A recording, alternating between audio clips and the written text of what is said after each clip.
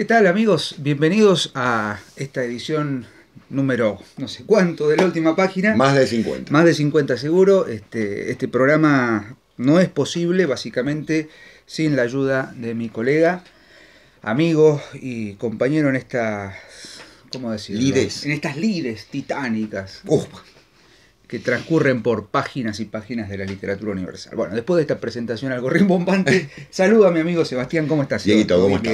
muy bien, muy bien. Feliz, feliz de seguir este, acompañándonos, como siempre me Ah, gusta sí. decir, porque esto lo hacemos en, la- en el aislamiento de una biblioteca, pero bueno, eh, Es estamos verdad. muy contentos con la llegada que está teniendo la última página. Estamos muy felices, nos sentimos muy halagados por los comentarios y por las repercusiones estamos teniendo.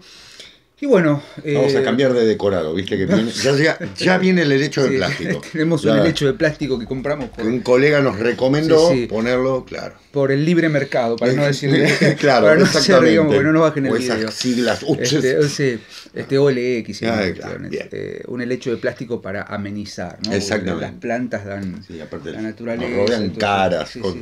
Hay, que, hay que salvar la naturaleza, ¿no? Esos No, causismos. Bueno, en fin, después de, de- de estos devaneos un poco personales, vamos directo al grano. Seba, eh, ¿cómo, mientras pensábamos, porque esto lo, lo pensamos en conjunto, el, el título de este programa, o digamos el, el sentido de este programa, me parece que nos encontramos con un pequeño inconveniente que es eh, cómo presentar al autor del cual vamos a hablar, porque lamentablemente, salvo para ciertos círculos muy particulares, creo que los últimos 20 o 15 años, este autor que, que vamos a, a desarrollar está siendo un poco más conocido, Sí, pero creo que va en sintonía con estos programas que hemos dedicado a los autores otros, ¿no? A los Sí, otros sí, es que, verdad, que tienen es que verdad. ver No con, es con una mirada fuera del canon. claro. Pero paradójicamente vamos a ver que cuando empecemos a desarrollar las ideas, la forma de escritura de este autor, vamos a, vamos a encontrar resonancias en otros Sin autores duda. que sí llegaron al canon. ¿no?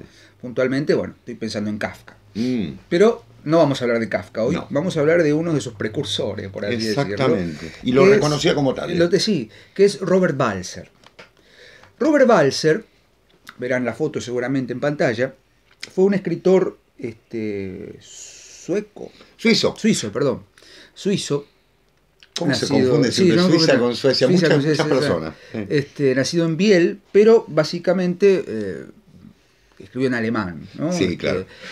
¿Cómo traducir la vida de, de Balser? Yo voy a nombrar dos o tres elementos fundamentales de su vida. Vamos a decir que fue un trotamundos, Mm. ¿no? Es un- una persona que desde muy joven este, recorrió eh, grandes ciudades europeas, vivió en Basilea, Zúrich, Viena, Berlín, Stuttgart, Berna. Y bueno, por ejemplo, en Berna lo- las documentaciones eh, dan cuenta de que vivió eh, por lo menos en 14 lugares distintos. Exacto.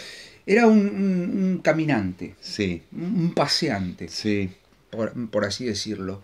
sí Pero con Balser nos vamos a encontrar con eh, una cuestión que tiene que ver con algo que ya en su momento habláramos, sobre todo cuando hicimos el programa de Virginia Woolf, que es la poética de la enfermedad mental. Claro. ¿no?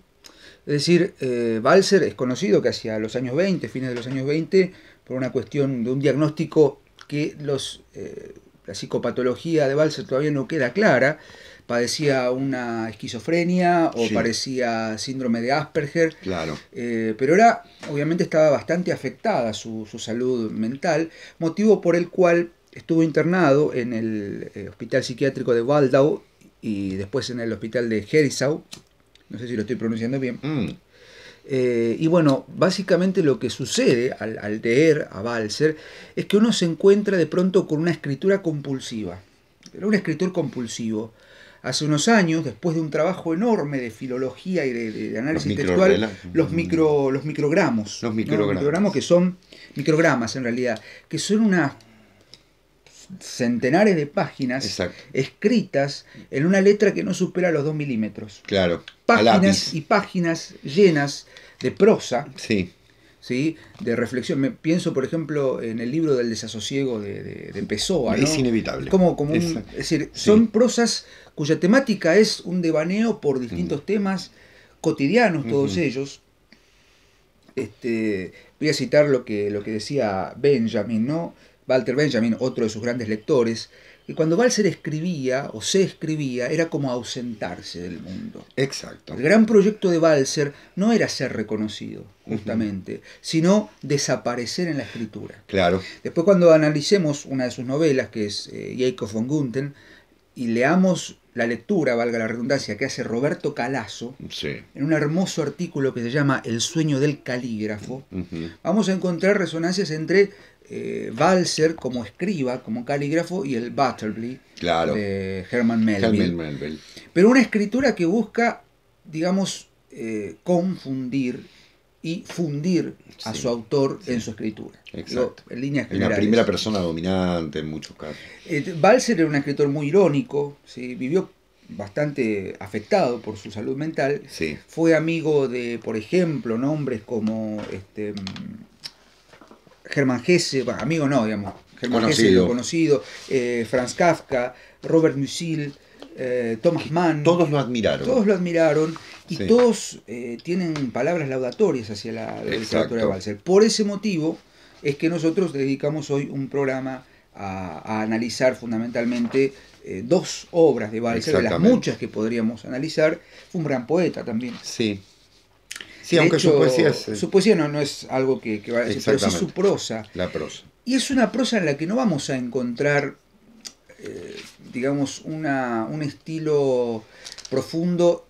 A ver, no, me, me corrijo, sí, hay un estilo profundo, pero no hay el tratamiento de los grandes temas que eh, interesaron a, a- a los literatos de todos los tiempos. Exacto. Sin embargo, en esa morosidad por lo cotidiano, Minimalismo, diríamos. minimalismo, esa búsqueda de, de- de lo fabuloso de lo en lo cotidiano, Exactamente. lo que llamara la atención en lo cotidiano, hay una operación eh, de Robert Balser que tiene que ver con, insisto, la novela que, que después me gustaría comentar, que es convertirse en un cero. Exacto. Pero no en tanto número inexistente, sino cero en tanto que asociado con otro número no suma nada, pero a la vez eh, hace más grande la cantidad. Claro. El cero, sabemos, esto lo es una lectura que hace Calazo, el cero es un número que multiplicado por otro da Cero. nada. O sea, cero más cero, cero. Exacto. O cero por cero, cero. Ujú. Pero es también un número o un no número que añadido a otro lo diversifica, lo multiplica, Claro. lo hace más grande. Es paradójica la idea. Bueno, en función de eso, Roberto Calazo plantea, ¿no? O sea, Robert Balser quiso ser lo que su Jacob von Gunther planteaba en el Instituto Ujú. Benjamenta. Ser un cero a la izquierda, pero en realidad es un cero a la derecha. Claro. ¿no? Es decir, aumentar. Es un el- agregado, Es un agregado. Básicamente, Claro. básicamente lo que tenemos que pensar en Balser es lo que después Kafka va a llevar a, a su, a su expresión máxima. Lo Totalmente. que Kafka hace en El Castillo, por ejemplo. Claro. Lo que hace Kafka en- con los personajes kafkianos. Sí. Tienen una fuerte reminiscencia balseriana, si se me permite la, la lectura. Pero bueno, este, me, me parece interesante, Seba, que empecemos a analizar eh, algunas cuestiones como para ir deslindando la, la literatura y la escritura de Balser, ¿no? ¿Qué te Bien. parece? Perfecto. Perfecto. ¿Te parece que empiece con el paseo? Vamos con el paseo. Bueno, to- este, digamos, avalando lo que, lo que decía Diego, a mí me pasa con la prosa de Balser algo que eh, resulta, digamos, extraliterario. Es decir, muchas veces uno lee literatura sin intentar imponer un modelo, sin buscar, digamos así, un, una esencia trascendente, por decirlo de alguna manera. No quiero decir que sea intrascendente, sino como bien dijo Diego, ¿no? en lo mínimo, en la vida cotidiana, en, el aspecto del salir, del, del el lugar cerrado en el que se encuentra, Balser es un admirador de la naturaleza. De hecho, murió en la nieve Es caminando. increíble, sí. Vamos a, a poner la foto. La foto, ahí está la foto de su, de su en muerte. pantalla la van a ver. Eh, fue encontrado en la nieve, ¿no? En Ujú. 1956. 56. En una de sus tantas caminatas. Ella estaba internado, obviamente, era un, Exacto. era un paciente crónico de la... Totalmente. Esos pacientes que de alguna manera forman parte de la montaña mágica, ¿no? Bueno, Thomas Mann fue un- Claro. Es decir, esos sanatorios del centro de Europa, una sociedad que venía a revelar también una enfermedad muy particular, ¿no? Porque está, si, nos ponemos a leer, está lleno de escritores que vivieron en esas situaciones Balser tenía un hermano pintor, lo llevó a Berlín, como bien decía Diego. Eh, estaba muy bien hasta que en un momento sufre una crisis y decide encerrarse y de ahí no sale nunca más y no publica nunca más. Es decir, el gran nombre de Balser viene cuando él ya está encerrado. Lo nombra Musil, lo nombra Kafka. Y Carl Seeley, su, un gran amigo y biógrafo y, quien digamos, recuperó su, su, su, obra. ¿Cómo es el, Max? Eh, no me acuerdo el apellido ahora del amigo, amigo digamos, el Max Brod. Max Brod. Exacto, de Kafka. De Kafka. Carl Seeling fue su, su, gran albacea, por así decirlo. Perdón, Seba, que te... No, al contrario. Porque es, esa la situación, exactamente. Kafka muere, pero en este caso Balser muere para el mundo civil, digamos, de alguna manera. Bien, yo me voy a referir a un libro que en realidad es un cuento largo, son unas 60 páginas, editado por Ciruela, en, entre otros libros, separado, ¿no? en realidad esto formaba parte de una colección de cuentos en la que estaba este texto extenso que se llama El Paseo. Nada más valseriano que el paseo, ¿no es cierto? ¿Qué es el paseo? Bueno, justamente es la reflexión que le produce al narrador el hecho de salir de un ámbito cerrado, que es ni más ni menos el lugar de la escritura. El texto comienza con una frase que indica que deja todo para salir de paseo, pero al referirse al todo se está refiriendo al escritorio, al lugar donde escribe. Es decir, sale a vivir la vida, que obviamente en la impresión de Balser es estar en contacto con lo natural, estar en contacto con la ciudad que va perdiendo su, digamos así, su eh, centro neurálgico, por decirlo de alguna manera, para llegar a la naturaleza. Es decir, uno podría decir que en algún sentido es un viaje iniciático, ¿no? Es decir, va en busca de... De hecho, Balser, como bien decía Diego, murió en la nieve en uno de sus paseos, intentando encontrar ese ámbito natural al cual él era afecto. Al dejar el lugar donde trabaja, donde está escribiendo, hace un recorrido, primero por la ciudad y después ya llegando a los límites de la, de la naturaleza, deteniéndose en pequeños detalles. Ese es el tema. Si la literatura nos parece que es acción, que es movimiento, que son conflictos constantes, la literatura de Balser es un bálsamo de tranquilidad en relación con recuperar aquellos aspectos de la naturaleza, sobre todo en el paseo, valga decirlo. ¿Por qué? Porque hay algo fundamental, que es que este personaje que primero se encuentra con un médico, ¿no es cierto?, con el doctor Meili, que dialogan sobre determinados este, aspectos de, la vida legal, ya que es un abogado, luego se mete en una librería para pedir un libro, el libro que está de moda, y en un momento cuando le entregan el libro de moda, él hace una crítica absolutamente ácida con respecto a ese libro y el, y el librero le dice que es un maleducado. Quiere demostrar esta idea de que es un hombre libre de ataduras, es decir, que puede moverse en ese ámbito socializado constantemente en busca de una naturaleza fundamental. De hecho, hay un enorme ataque a la vida contemporánea. Entra en un banco, él no tiene dinero, mm. pero está en el banco porque lo han llamado, porque un grupo de señoras poderosas le ha donado dinero, entonces Aparte es muy autobiográfico, ¿no? Porque Balser trabajó en un banco durante gran parte de su adolescencia. Totalmente. Era botones de un banco, o sea, conocía ese mundo. Conocía el sistema financiero, claro. Habla de la filantropía, esa falsa caridad, ¿no? Que le otorga mil francos, mucho dinero en ese momento y que él con un humor espectacular, en vez de llevarse el dinero que lo necesita, decide abrir una cuenta, como diciendo, claro, como diciendo esto de que ahora soy un potentado, ¿no? Mm. Tengo una cuenta y sale con la cuenta en la mano, ¿no? Con toda la gracia que esto significa. Porque el banquero le dice algo fundamental, el empleado bancario, no el banquero. El empleado bancario le dice, bueno, usted es un pobre poeta sin éxito. Ahí está justamente la idea, ¿no? De Balser. Soy un pobre poeta sin éxito. ¿Qué es lo que él buscó? Él no buscó nunca ni el éxito ni nada. Era una, la literatura para él era una compulsión, una necesidad de volcar lo que esperaba pero fundamentalmente un relato respecto de lo que es el mal gusto de la vida cotidiana, en dos aspectos. Primero, los comercios con los grandes carteles que preanuncian el neón, digamos, ¿no? En esa época no había neón, pero lleno de luces, de dorados y demás, que él dice, qué mal gusto poner una panadería ¿no? con carteles dorados cuando el pan es lo más simple que hay. Siempre esa idea, ¿no? Irónica. De lo simple frente a lo rebuscado, a lo, a lo ostensible y demás. Y por otra parte, la idea de la máquina. Claro, aparecen, el texto de 1909, aparecen los automóviles. Y él se horroriza ante la presencia del automóvil.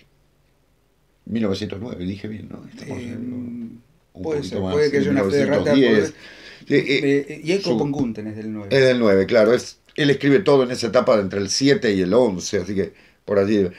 Con lo cual, eh, esa crítica al mundo moderno, a la mecanización y demás, en la que dice, ¿cómo no dejar de pensar en el horror de un niño aplastado por un auto? Y entonces se aleja, se va hacia las afueras, donde puede gozar de la naturaleza, de una flor, se va deteniendo en distintos aspectos. Y en medio de esto que parece una nimiedad, está el reencontrarse a sí mismo. Es decir, así como la literatura en el interior era, de alguna manera, el volcar esa angustia ante el mundo, aquí es el escape, la salida, el paseo. El texto se llama El paseo, no es un paseo, es el paseo, que es el viaje iniciático, que es el comienzo de este hombre que intenta dejar ese mundo acollarado. Pero quiero citar, porque me pareció estupendo, su propio llamado de atención. Dice, la cosa con los dos sombreros de paja es la siguiente, en un momento de una persona con un sombrero de paja, de repente veo dos sombreros en el aire luminoso y delicado, y bajo los sombreros hay dos excelentes caballeros que parecen desearse buenos días mediante un bello y gentil levantar y agitar el sombrero. No son seres humanos, son sombreros con un ser humano debajo. En este acto los sombreros son visiblemente más importantes que sus portadores y poseedores. La metonimia, ¿no? O la sinécdoque. Totalmente. Por lo demás, y escuchen esto, se ruega humildemente al autor guardarse de burlas y sarcasmos, en realidad superfinos. Se le insta a mantenerse serio y ojalá lo haya entendido de una vez por todas. Él mismo se reconviene, ¿no? Era un provocador. Un ¿no? provocador, Balser totalmente. era un provocador, lo hace calazo en las anécdotas. Sí. tiene, ¿no? Un día. Contra cuenta toda hablando- Contra toda costumbre. costumbre, ¿no? Eh, dice uno de sus. eh, cito la anécdota de, de Calazo, porque si no la, la voy a citar mal. Su amigo, Seelen, le, le dice como, como si. Si usted sigue escribiendo así. Eh, jamás olvidaré aquella mañana de otoño en la que fuimos a pie a Teufen, de Teufen a Speichen a través de una niebla tan densa como algodonosa. Esto lo dice este, Carl Seeling, un amigo suyo. Eh, a través de una niebla. Aquel día le dije que era posible que su obra durara tanto como la de Gottfried Keller. Él se detuvo como clavado en el suelo, me miró con un aire más grave y me dijo que, si apreciaba su amistad, no volviera a hacerle semejantes cumplidos. No, diciendo, no me interesa, Claro, exacto. no me interesa. Es decir, el espacio de la escritura, como bien dijiste, es el espacio de liberación. De liberación. ¿no? La liberación que desasirse, digamos, de, la, de esa suerte de vida cotidiana, Claro. ordinaria. Exacto. El espacio, el, el punto de fuga Ujú. es la literatura. Totalmente. Más que la literatura, diría yo, la escritura. La escritura. La escritura. Totalmente. El final. No importa, para el caso no importa. Las circunstancias le habían ordenado viajar y partió. Quizá hubiera podido convencerla a tiempo de que tenía buenas intenciones, una mujer, de que su querida persona me era importante y de que por muchos hermosos motivos quería hacerla feliz, y con ello a mí mismo. Pero no me esforcé más y ella partió. ¿Para qué entonces las flores? ¿Recogía flores para depositarlas sobre mi desdicha? Me pregunté, y el ramo cayó de mis manos. Me había levantado para irme a casa, porque ya era tarde y todo estaba oscuro. Es decir, ni siquiera el amor, ¿no? se realiza en este hombre que va en busca de algo que sabe que es imposible, que es esa liberación en relación con algo que lo está acollarando y que tiene que ver justamente con su enfermedad psiquiátrica. Pero con un aditamento fundamental, una prosa de una elegancia y de una delicadeza constante que les va a hacer observar aquello que no observamos. Yo me permito hacer la relación con el haiku, ¿no? Mm, Balser, sí, estaba pensando en, el- en eso. claro, Balser mira, observa la vida cotidiana, lo pequeño, lo que nadie observa, y le da una vida nueva. Encontrar la belleza del mundo Exactamente, en las cosas simples. totalmente. Encontrar esa, Esa fascinación, el aguare Mm, del, del haijin, ¿no? del, del- del poeta que escribe haikus. Sí, señor. Sal- mutatis mutandi, ¿no? Salvando No, todas supuesto. las distancias entre un escritor del siglo Suizo, XX, del siglo suizo, XX, de- que quizás claro. no haya conocido la tradición Es muy probable. Eso ya es Claro. obra nuestra. Pero hacer esa relación con. fíjate con- que lo admiró Germán Gese, que sí era un Sí, bueno, de lo sí, claro. sí, Germán claro. Gese, Robert Musil. Claro. este, ¿Cómo se llama, Seba, la novela de Musil? Estoy pensando. El en hombre sin El hombre sin atributos. Ahí está. Exactamente. El, el- el hombre sin atributos Totalmente. es el hombre llano, ¿no? El hombre. Lo que después, o en realidad no después, sino antes en Baudelaire había sido el flaner, Exactamente. ¿no? El, el- el- el rambling man, el hombre Claro. que, que deambula por Sí. la ciudad. La diferencia es que Baudelaire tiene una intención poética, ¿no? Totalmente. El flaner, Claro. eh, creo que Balser no tenía esa misma. No, no, no, sin duda. Era justamente el perderse para perderse. Y en ese En sentido, el sentido de no, no, no figurar. no figura, en ese sentido, me gustaría Jacob hacer en estos sí. minutos que nos quedan una, un comentario, no voy a hacer un análisis porque igual la novela es muy breve, son unas 120 páginas. Lamentablemente solo la versión en castellano hoy se consigue en la editorial Ciruela, que Sí, es muy cara. es muy cara ¿sí? para nosotros. Para nosotros cara. es cara. eh, quizá nuestros este, suscriptores de España o de Europa puedan conseguirla a un precio mucho más accesible que aquí en Argentina. Bendecidos de ellos. Este, eh, claro. ¿Qué es el Jacob von Gunten? Es una autobiografía ficticia. Alemán, por Alemán. Jacob. Jacob, perdón, perdón. Yo, Usted le sale el inglés, le sale. Jacob von Gunten. El von lo hice bien, ¿no? Sí, totalmente. Jacob von Gunten es una especie de autobiografía ficticia de un de este Jacob, Jacob eh, von Gunten, que es estudiante, pupilo de un instituto, el Instituto Benjamenta, instituto Ujú. falso, y es un gran tratado sobre eh, los devenires y avatares de la educación tradicional. ¿no? Jacob todo el tiempo está renegando de su condición de estudiante de Benjamenta, pero tampoco hace mucho por salir de allí.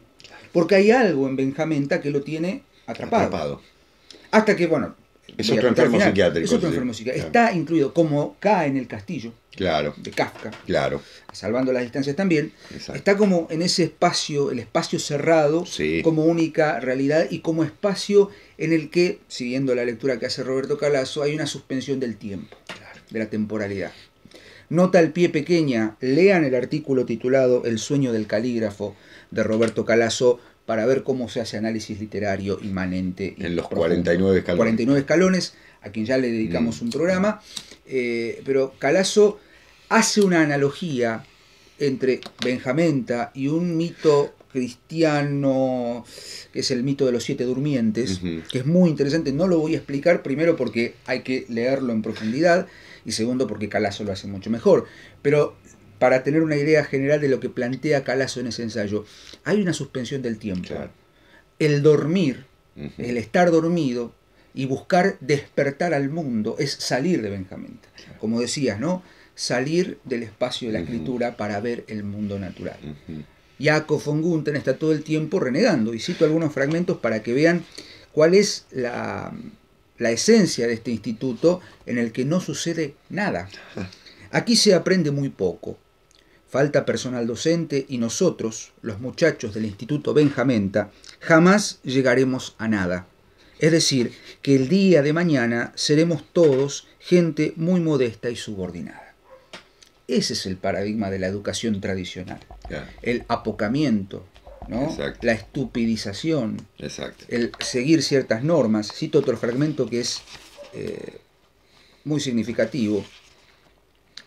Eh, me doy cuenta de que es muy importante y sobre todo bueno y respetable. La parte práctica o física de nuestra enseñanza consiste en la incesante repetición de una especie de baile o de gimnasia, como quiera llamársele. Nos enseñan a saludar, a entrar en una habitación, a comportarnos con las mujeres y a otras cosas semejantes, todo ello de manera prolija, a menudo tediosa, aunque también en esto, ahora lo veo y lo siento, hay un significado profundamente oculto. Nos quieren formar y modelar, ya me doy cuenta, no atiborrarnos de conocimientos. Nos educan obligándonos a conocer punto por punto la naturaleza de nuestra propia alma y de nuestro propio cuerpo. Nos dan a entender claramente que la coacción y las privaciones ya son formativas por sí solas y que un ejercicio simplísimo y en cierto modo necio hay más perdón, y que en un ejercicio simplísimo y en cierto modo necio hay más beneficios y conocimientos verdaderos que en el aprendizaje de una larga serie de conceptos y acepciones. La necedad. La necedad, esa suerte de ensimismamiento, es el conócete a, a ti mismo, pero digamos, este, de oropel, ¿no? Falso, me sale decir berreta. Claro. bien porteño, es, el conócete a ti mismo, pero berreta. ¿Para qué el conócete a ti mismo? Para nada. ¿Quién sabe para qué? Más adelante, sigue, sigue, es un gran tratado sobre lo que sucede dentro de Benjamenta. Eh, dice, mm, en el Instituto Benjamenta ni hablar, vivir bajo tutela y ser maltratados es el máximo honor al que podemos aspirar. Ser maltratados. Ser maltratados. El adiestramiento es algo honroso para los alumnos. Esto es más claro que el agua, aunque tampoco nos revelamos. Jamás se nos ocurrirá. Sumamos tan pocas ideas entre todos. Tal vez sea eso.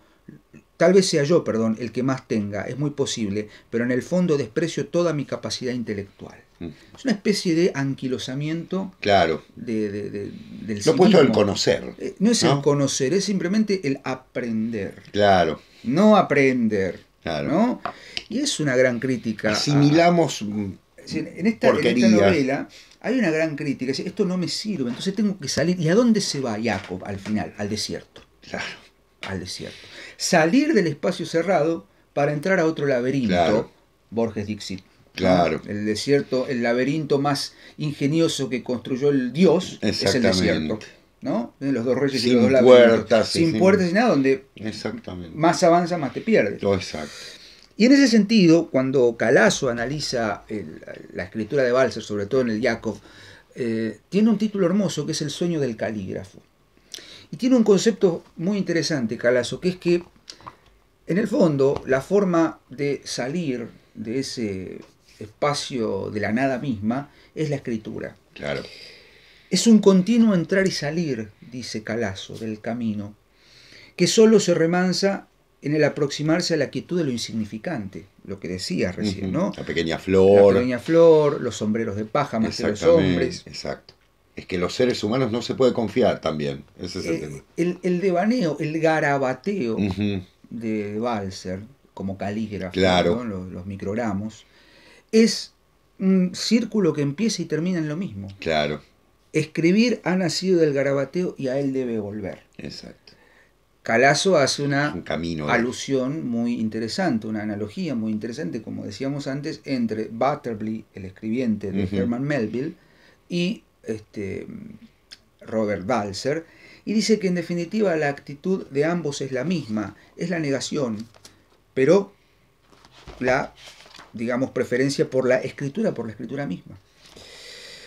Eh, no enuncian nada propio, cito a Calazo, no enuncian nada propio, no quieren modificaciones, no me desarrollo, mi capacidad intelectual no se desarrolla, dice Jacob en el instituto. aprenden a asimilar. No quiero cambios, sentencia Battleby. En su afinidad se descubre la equivalencia entre el silencio y una cierta utilización ornamental de la palabra. En los millares de páginas escritas por Balser, resuenan continuamente sin ser jamás pronunciadas las palabras de Bartleby, prefiero que no. Claro. O sea, hay en Calazo una idea sobre Balser que podríamos resumir de la siguiente manera. Es mejor la escritura, ya sea compulsiva, ya sea una escritura abyecta, hay todo un apartado sobre la abyección, es un modo de cubrirse, de ocultarse, como decía Benjamin, ¿no? Escribirse es como desvanecerse, de ser palabra y no más bien la nada. Claro.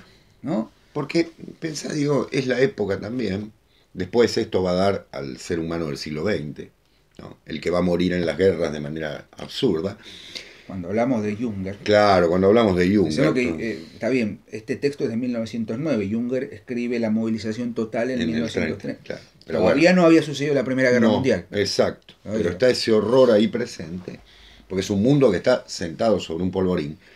Recuerdo, para relacionar, dos o tres novelas sobre adolescentes también. Demian, Demian de Germán Hesse. Bajo las ruedas, de Germán Hesse, y Las tribulaciones del joven Turles, de eh, Robert Musil. Va. que tiene la misma, la misma car- característica, ¿no? Es decir, son jóvenes, son adolescentes, son la típica novela de aprendizaje, en el que Kafka. Son los Sí, jóvenes eh, destruidos, Gran ¿no? parte de- del primer Kafka, o del mejor Sí, Kafka, sí. están sostenidas en las lecturas de, de Balzer. sin duda, Y Balzer es un autor muy poco conocido. Sí. ¿Por qué es poco conocido? Porque no vende. no, claro, Claro, no vende un tipo, no es un, un escritor que, que se detiene a reflexionar. Claro. No sé si es una reflexión, pero que tiende a- se sienta a escribir sobre estas cuestiones que quizás al mundo en el que estamos acostumbrados a vivir nada le importa. no, claro. ¿sí? Yo por eso veo este, la inclusión en ciruela, me parece muy interesante, sobre todo porque mm, eh, quien creó la editorial, Jacobo, el conde de claro, Jacobo Fritz James Conde de Ciruela, Jacob, Jacob, claro, tiene esa actitud, ¿no es cierto? Mm. Tiene una actitud de recuperar textos que no forman parte del, del mundillo literario Sí. cotidiano. Y, y acá nos vamos a poner belicosos y el resto no importa. No, claro. Es que, Esa es ¿qué te llevarías a, a- no a una isla desierta, ahora vamos a ser posmoderno, a Marte? A Marte. ¿Qué me llevaría a la colección completa de Ciruela y a Sí, Delphi? Y a Delphi. ¿No es cierto? ¿Qué es eso? Después, bueno, Pero bueno, por ahí eh, Herder o- invitamos a que lean Robert Balser, que lo indaguen un poquito, que chume, que vayan a Calazo nuevamente, que tienen dos artículos en los 49 Sí. dedicados a Balser. Y bueno, Tiene una conferencia en, sí, creo que en sí, YouTube. en YouTube se consigue. Hay una charla. Vamos a ver si podemos poner el link. Así que bueno, se nos acabó el tiempo y bueno, nosotros nos veremos nuevamente el lunes que viene. Seba, un placer como siempre. Lo mismo, Diego. Gracias vos, y como siempre, aquí estaremos para seguir leyendo últimas páginas. ¿eh? Hasta la semana que viene. Adiós, gracias.